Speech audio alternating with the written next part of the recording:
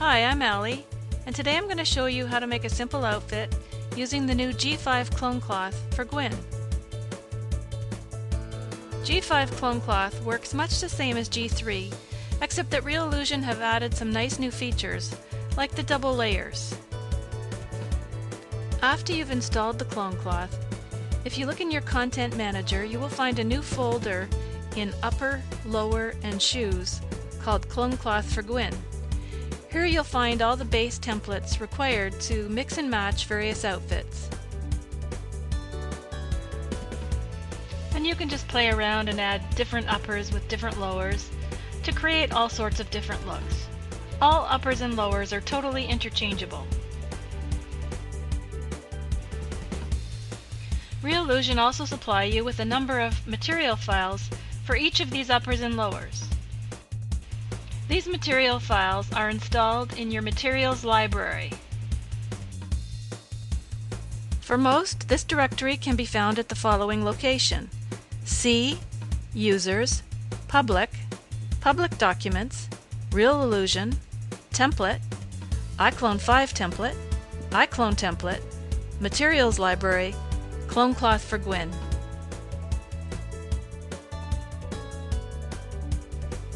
Once you've loaded the base, upper or lower cloth, you can then navigate to your materials library and add the appropriate material.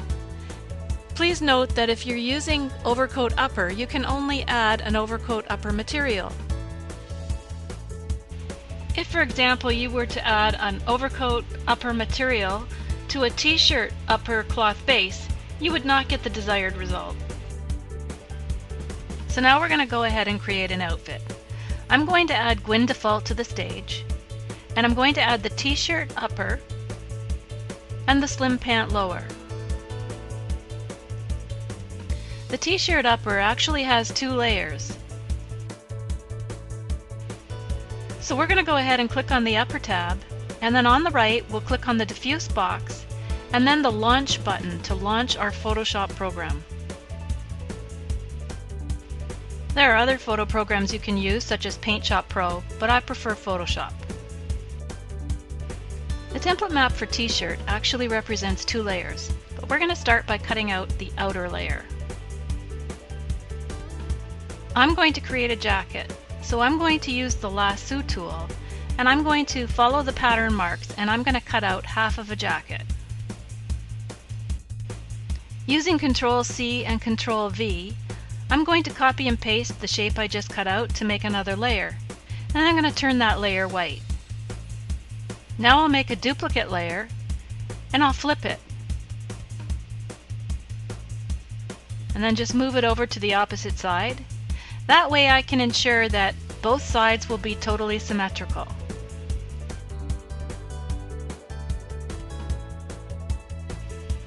I've cut out a layer for the back here using the same method and then I'm going to go ahead and do the sleeves as well.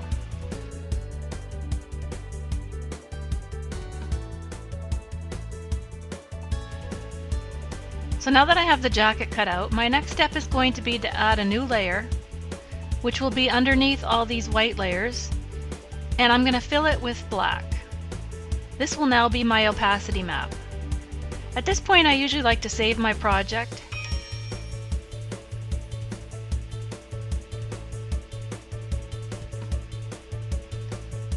And I usually put the name of which template I used, in this case t-shirt, in the title so I'll remember later.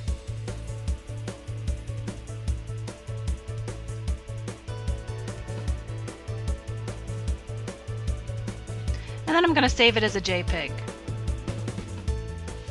Back in iClone I'm going to highlight the opacity box and I'm going to load the opacity map that I just saved. You can see that we have a jacket now.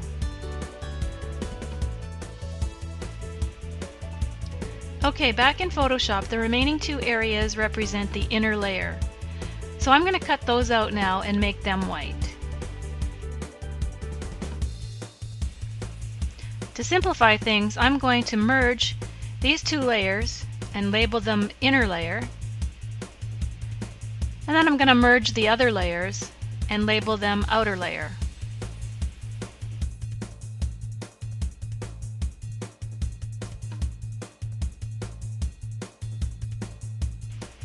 So I'll go ahead and save the opacity map again.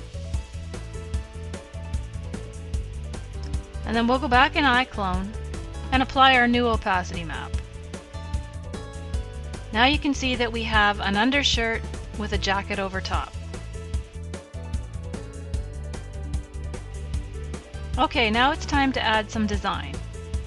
So I'm going to start by selecting the outer layer using the magic wand and I'm filling it with a pattern.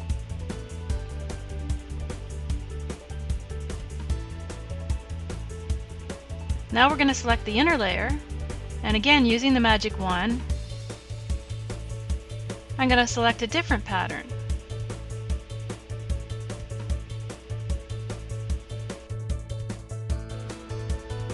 We're ready now to save this as our diffuse map.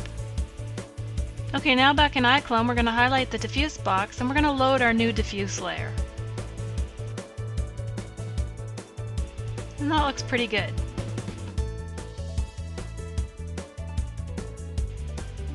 So now we're ready to select the lower tab and once again launch our photo program. And we're going to follow the same method as for the upper by cutting out a shape for the pants and then turning the layer to white. I'll go ahead and merge all the layers that I cut out to make one layer and then I'll add another layer and fill it with black like we did for the upper.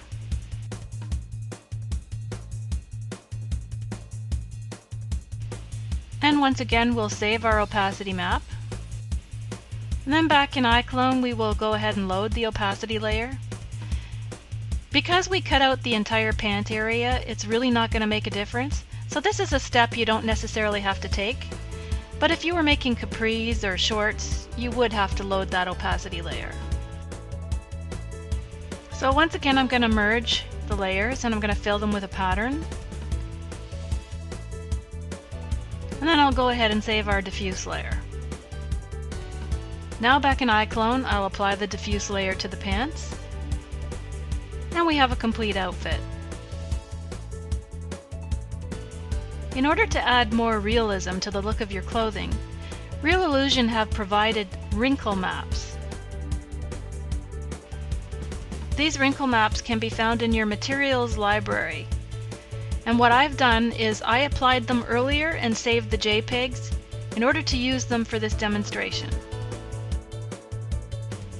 These wrinkle maps are actually bump maps, so you can apply them by highlighting the bump box and then navigating to them. To increase the deepness of the wrinkles, particularly on dark colors, you can adjust the contrast to make the wrinkles look a little more prevalent. Because the pants are black, the wrinkle map isn't having much effect. So I'm going to go ahead and add it to the specular level as well. I can then play with the controls for specular and glossiness to make the wrinkles stand out a little bit more.